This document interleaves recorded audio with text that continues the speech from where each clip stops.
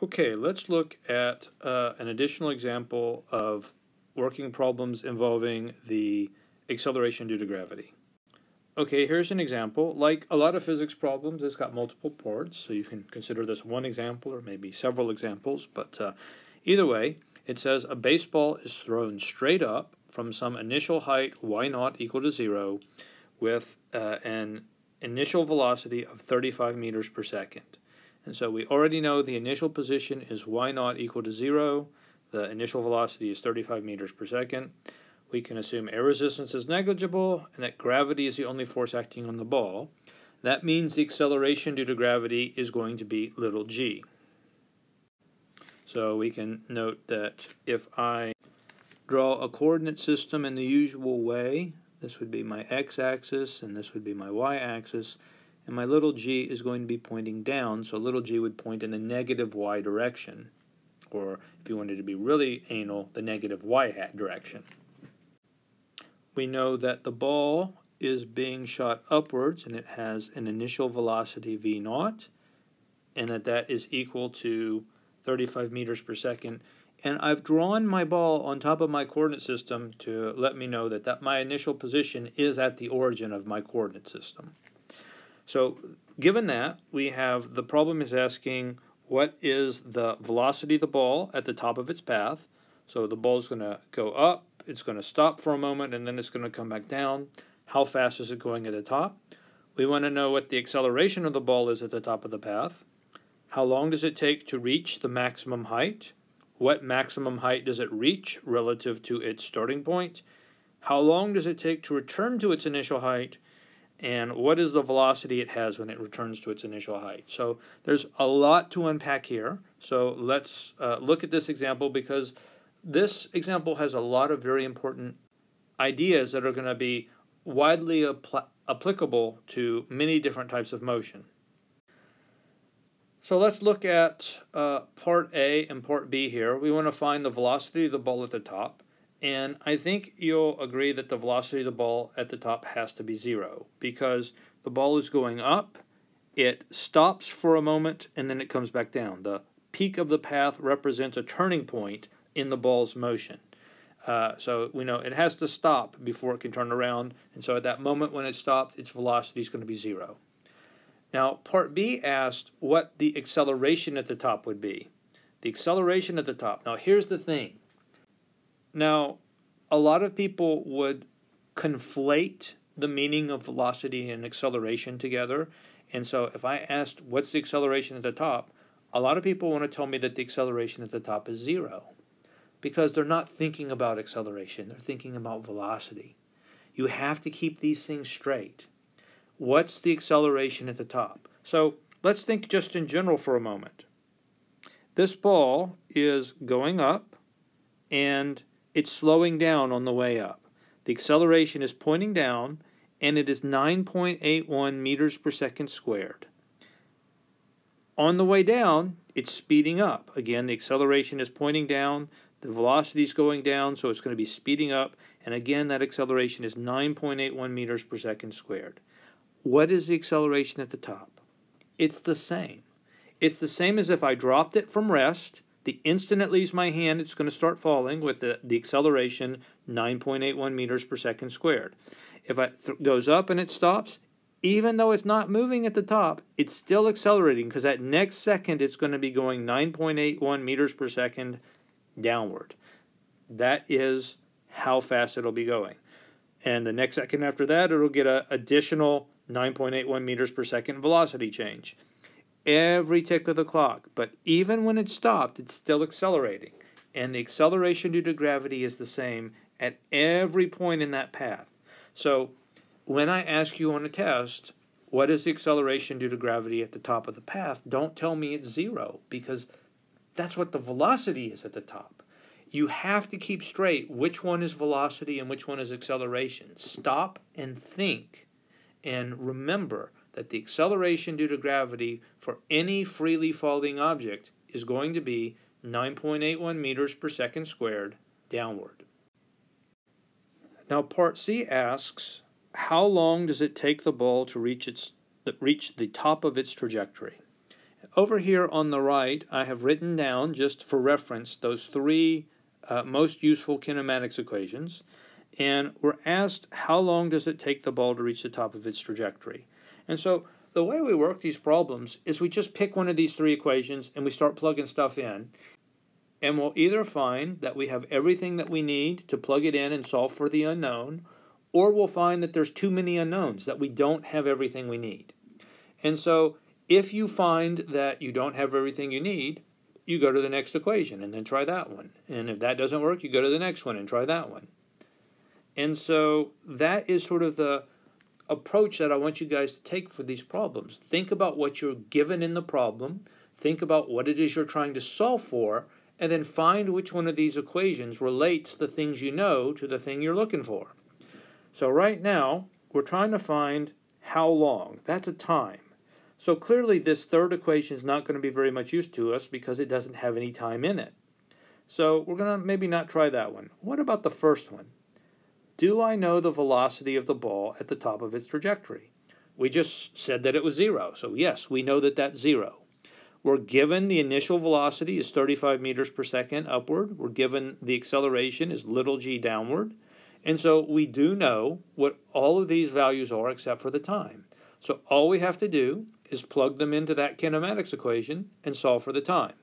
And so here I put in the final velocity, the initial velocity minus gt, because the acceleration is minus g, so it goes from plus a to minus g. Then down below, I just plugged in the number for little g, 9.81 meters per second squared. And I solve for the time, which is some basic algebra. You solve for the time, it's 35 meters per second divided by 9.81 meters per second squared. Notice the units here, they work out because I've got meters per second in the top and meters per second in the bottom that are all going to cancel. So those are going to cancel with that meter in one of those seconds. And that leaves 1 over 1 over seconds as my units, but when you do 1 over 1 over seconds, that's just equal to seconds. And so the units work out to be seconds. I divide 35 by 9.81 and I get 3.56 seconds, and that is what? That is the time it takes to reach the top of the trajectory. So that is the time it takes to get to the top of the path. Technically, if we're being anal, it's the time it takes for the ball to slow down and reach a speed of zero. Because it starts at 35, but then it's slowing down with each tick of the clock because of the acceleration, and that's how long it takes to reach of zero velocity. But when it reaches zero velocity, that's when it's at the top of the path. So that's also the time it takes to get to the top of the path which is what we were looking for in the first place. Now the next part of the problem was to find the maximum height that it will reach. And so we can look here. We know that height is a position kind of a thing. And so uh, we've got our v here, v naught plus at. Uh, here's our height y. And this is y is equal to y naught plus v naught t plus 1 half at squared do what we're looking for is the y. We know the initial height is going to be 0 because I can set my initial height to be anything I want by where I put my coordinate system. I know that v naught is given as 35 meters per second. I know that a is little g, minus little g in fact. And so I can plug all of these values in and I know the time. We got the time was 3.6 seconds in the previous problem. So if I plug all of those values into that equation, I get the height is 64 meters. Incidentally, I just noticed that there is actually a mistake in my little legend up here. I wrote this equation in terms of x, even though we're dealing with terms of y. And I maybe should have pointed that out explicitly because when we derived the kinematics equations in the previous video, we did it in terms of motion along the x-axis, but it doesn't matter. We can just the same move along the y-axis. If the acceleration is constant, they apply in either or both directions. But if I wanted to be consistent, I might want to call that y. Just as an FYI, I didn't want anyone to see that and be confused. So anyway, sorry about that. I'm not going to go back and fix it because uh, I think that's a fairly trivial error. But anywho, this is how you get the height. Now, another thing that I want to mention to you is that in the previous problem we were asked to find the time. In this problem we were asked to find the height. But what if this was the first problem? What if we didn't know the time? Well, we could do one of two things. We could do exactly what we did before. We could find the time using the equation above, or we could apply this third equation, which doesn't have the time in it. Either of those approaches would work. But let's talk about what we did, because in the first part of the problem, we found the time, and then we plugged it in to the second part to find the height. So this is something that we can do in general. Very often, so we've got these three equations, and very often we know what we want. We want to find the velocity or the position or something. Part of there's some variable in one of these equations that we want to find. And so let's say we want to find the height and we know that we need y, but we don't have the time or we don't have the initial velocity or something that we're lacking something. So if you know which equation you need, but you only need one more thing to find it, well, guess what? You can probably find the thing you need in one of the other equations. So if you need the time, you might be able to find it in this equation. Or if you need V naught, you might be able to find it in that equation as well. Or maybe you can find it in that equation based on what's given in the problem.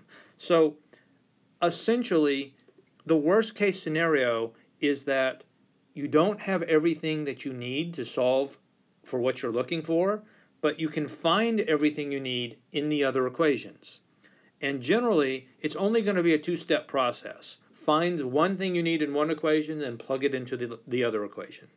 So I just wanted to mention that because that's sort of the process for solving these problems. You figure out what it is that you're looking for, you figure out all the things that you know about the problem, and then you find which of these three equations connect what you are looking for to what you know.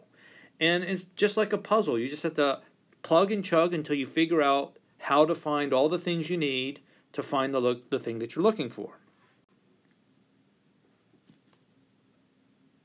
About y variables. Ah! So let's keep going, and we're going to look at part E, which asks, what is the amount of time it takes to return to the initial height y equals y naught, which is equal to 0. And so we have our kinematics equation, and let me write out the whole thing. So I have the y position is y naught plus v naught t plus 1 half at squared. We know that y naught is equal to 0, so I can get rid of that. And we know that a is equal to minus g, so I can just plug those in. And so I've got my y is equal to v naught t minus 1 half gt squared, and that is what I ended up here with. And so now it's just plug in the values I know and solve for the time. So I know it's given in the problem the initial velocity is 35 meters per second straight up, so that's going to be positive. The acceleration is four is going to be 1 half 9.8, which is 4.9, and it's minus because the acceleration is pointing downwards. That's times t squared. And so if I rearrange this equation, I can uh, say that I've got a constant times t squared plus another constant times t is equal to 0.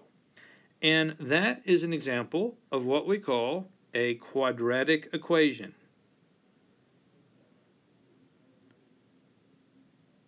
And so we know how to solve quadratic equations. We can either apply the quadratic formula or we can factor.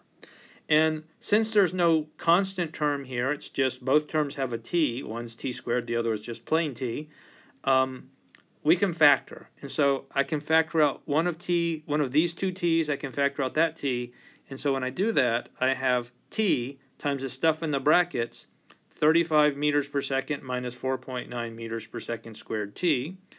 And so when I do that, if I were to multiply this t through to each of these two terms, I'd end up back with what I started up above. So that's a proper factoring. And so that gives me t times the stuff in the brackets is equal to 0. Now, if you've got two things multiplied together equal to 0, If either of those things is equal to 0, then that equation is true. So if t is equal to 0, then this whole equation is true. If the stuff in the brackets is equal to 0, then this whole equation is true.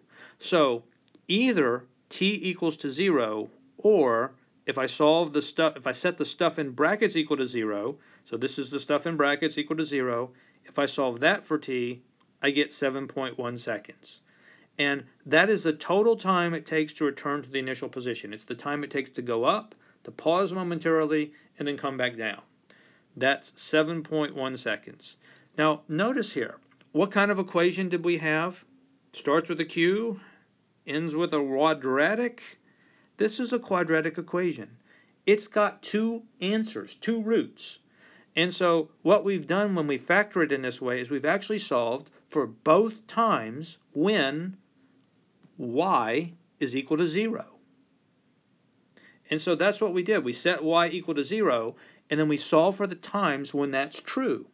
And so we know that y is equal to 0 when we launch the ball upwards, and we also find that the time is going to be 7.1 seconds when the ball returns to where it started. And so it's kind of nice that the math shows you both times when the position was 0. Now, I'd like to look at this equation a little bit. We've got y is equal to y, y naught plus v naught t plus 1 half at squared. That's going to be a parabola. That's the shape of the curve. If I plot this out, I'm going to get a parabolic shape. Now, the interesting thing that we know about parabolas is that they're symmetric. If I draw a straight line through the center of the parabola, and we'll pretend that that's a straight line, one side is a mirror image of the other. And so it's interesting because if we look at the time, the time it takes to get to the top, we solved in part C, I think, that was 3.56 seconds. And the round trip time, up and then down, that's 7.1 seconds. But look, that's 3.56. That's basically another 3.56. There's a symmetry here. The time it takes to go up equals the time it takes to fall back down, you know, with insignificant figures. So, what does that tell you? That tells you that if I find the time it takes to get to the top, and I want to find the time it takes to return, all I have to do is double the time it takes to get to the top. Now, if I do that on a test, I want you to use the magic physics words. Because if you just do that and you don't explain why you can do that, I'm going to count off. Because I want to know that you under, you're not just doing things that you've memorized to do, I want you to know that you understand them. And so the magic words that let you do this on a test are by symmetry. So if you recognize that you can exploit symmetry to find the answer of something, you can save yourself a little bit of time and work. Symmetry arguments are very powerful things in physics, and we will use them all the time when they're applicable. But you can only use them when they apply, when there's an actual symmetry to exploit. So, for example, what would be an example when it doesn't work? If I threw my ball up and on the way back down it landed on the roof of a building, then this is not a symmetric situation. I couldn't use a symmetry argument to find out how long it took to get here. How would I find out how long it took to get there? Well, if this is some y value, I just plug that into my equation. I'd plug it in over there, and I'd solve for the amount of time it took to get there. It's that easy. So that is the basic idea. And by the way, if I did this example where it landed on a rooftop and I tried to solve for the time, my quadratic equation would give me that time and it would give me the time over here when the ball was going up and was at that same height. That's just how it works. So in general, if you're given a height that you want the ball to reach, you just use your kinematics equation. But if you have the entire trip and it comes back to where it started, there's a symmetry there that you can exploit. Now the last part of the example asked what was the velocity that it had when it returned to its initial position. And so we know if we're looking for velocity, we might look at this equation. We've got v is equal to v naught minus gt. Negative g is the acceleration. So we can plug in our numbers, 35 meters per second minus little g here, times the time it takes to go for the whole trip. And when we do that, we end up with a v equals minus 35 meters per second. The initial velocity was 35 meters per second. The final velocity was minus 35. And again, that's one of those things that we can use symmetry to exploit. If I've got my ball going up and it comes down, whatever the velocity it has starting out, when it returns, it'll have that same velocity but in the opposite direction. It'll have I should say, let's be careful with the words we choose. It will have the same speed. The amount of the velocity will be the same, but the direction will be opposite. So that's uh, some different examples of problems that you can work involving the acceleration due to gravity, and you'll get some more chance to practice them on your homework.